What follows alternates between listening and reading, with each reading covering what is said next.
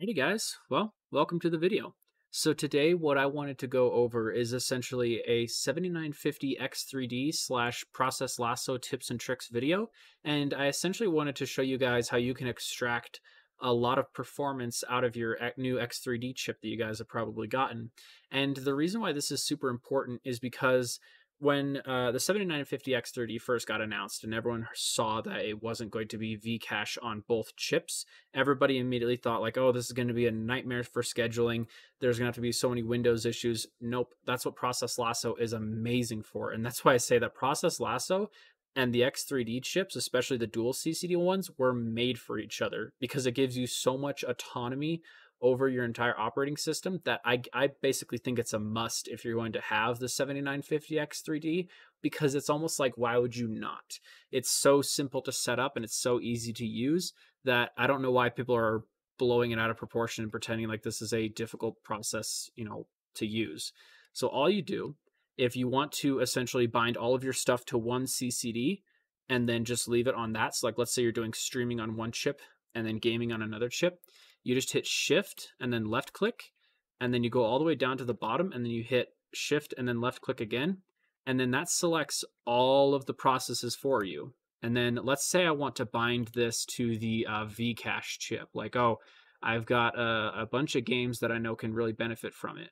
Well i just unselect those cores. If you're using hyperthreading it'll be every other core. So if this was like if i had hyperthreading enabled core 0 and core 1 would essentially be the same core, but the extra thread right here, the extra core. So core one would be a hyper thread, not an actual core. So it would be zero, two, four, six would be the cores that you want to actually select for the game to run.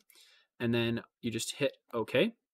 And then it swaps all of them over. And that's it. That's all you have to do. Now you have all of your operating system swapped over to one CCD and you don't have to worry about it. If I close out of this, and then let's say I restart my system, Process Lasso will still remember the profile that I set for it. So it's super easy to set up.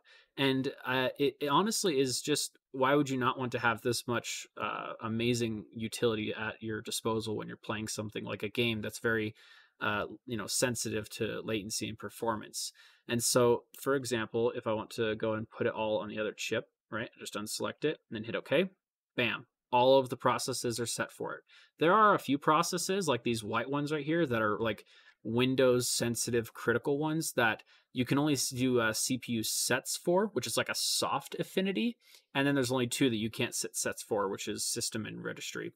But other than that, everything else is completely running on the non CCD Vcache chip. So that's an amazing thing to have at your disposal.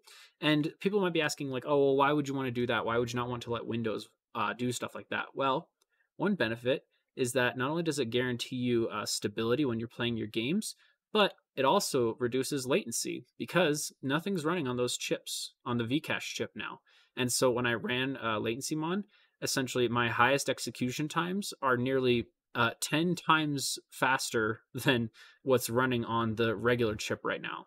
And so if you're playing a game that's really latency sensitive, this is an amazing thing to do because yeah, why would you not want to like reduce your latency by such a drastic amount? And obviously it's like in the milliseconds here, so it's not exactly like that impressive in terms of like it's not like we're talking 16 milliseconds versus 8 like a 120 hertz monitor.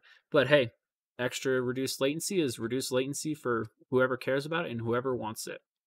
And so that's the main thing too, but it's also amazing for streamers because I ran essentially a benchmark on my channel, which is Overwatch 2 at 500 FPS and OCCT, which is a stress test at the exact same time.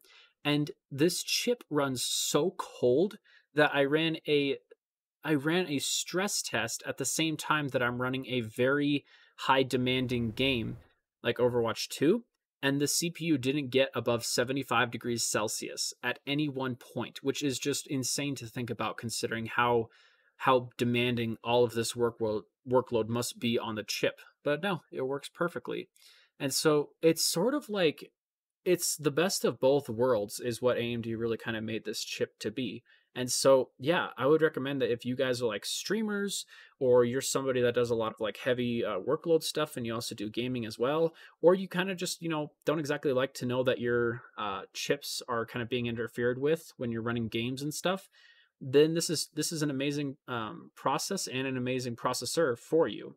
And so another thing too that kind of you can use to counter a lot of arguments online is that if you look at the um, processes in terms of the uh, CPU frequency, you'll notice that the uh, Vcache chip tends to downclock itself a little bit when it's uh, starting to get a little bit hotter.